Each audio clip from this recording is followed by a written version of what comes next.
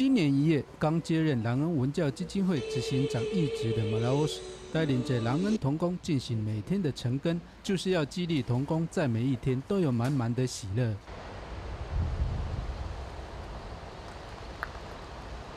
服务蓝屿将近三十六年的朗恩文教基金会，一九七七年九月，因为一位年轻基督徒林茂安在上帝奇妙带领下，只身前往台湾东海面的蓝屿。一九七九年的夏天，将上帝的祝福与社会的爱心播撒在蓝屿，更建立了朗恩。不过近十年天灾地变多，国内善心捐款改流向其他县市，捐款逐渐减少。朗恩文教基金会这几年开始传出财务危机。我们现在目前大概有，呃呃五百万的财务缺口，其中含人事费、现厂商的这个呃这个费用，还有呃我们的经常性的车辆的贷款，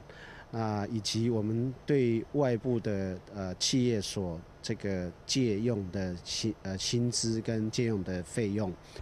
两岸文教基金会平日靠着三星人捐款维持营运，但仍是薪资占总支出的约百分之四十二。三十六年内财务短缺，造成员工轮流领薪是常有的事。当时有的童工从单身到婚后有家庭，庞大的经济负担，因为薪水不稳定，不得不离开工作岗位。对基金会的全体的员工，他说将近有。半年的时间都没有领薪水，啊，当时我那时候是还没有就是步入家庭，所以当时是单身的一个身份，财务上呃是还 OK，可是有很多有家庭的童工啊，都是童工都是这样子借借借钱这样来。来那个，哎来过日子，每几年就是都会有，就是很不稳定的状态。比如说，可能我们会就是到年底的时候，可能有的时候会发不出薪水，然后比如说大概两两个月或一个月，可是那时候我们就是可能会轮着领薪水。是在呃龙头岩，对，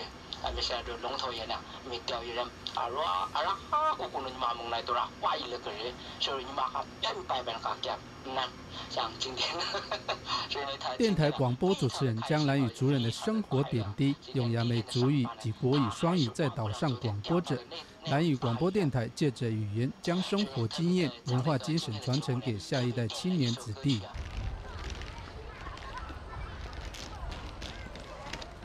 朗恩幼稚园更是岛上唯一的私立幼儿园，提供岛上母体的基本养分。蓝屿双周刊记录雅美族近三十年来传统文化上的转变及岛上的变迁，可以说是记录蓝屿的一部近代史。在蓝屿是一个很好的一个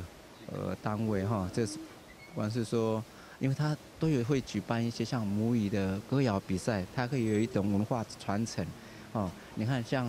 江公所他就没有这样的一个机构，你看，但是狼恩呢，反而他会拥有这样的一个领域，说，嗯，他喜欢蓝屿，他就要把蓝屿的东西留下。为了维持目前正常营运，狼恩文教基金会执行长未来将推出新狼恩运动，解决目前财务困境。我们三年计划让狼恩的发展，呃，从呃传播事业、广播电台跟网络的整并、跟杂志的整并上面去思考。那在文创上面能够凸显蓝屿的音乐文化跟生态的智慧，在传统的地下屋跟文物馆能够让蓝屿的传统的建筑知识。呃，过去的我们的文化历史能够呈现出来。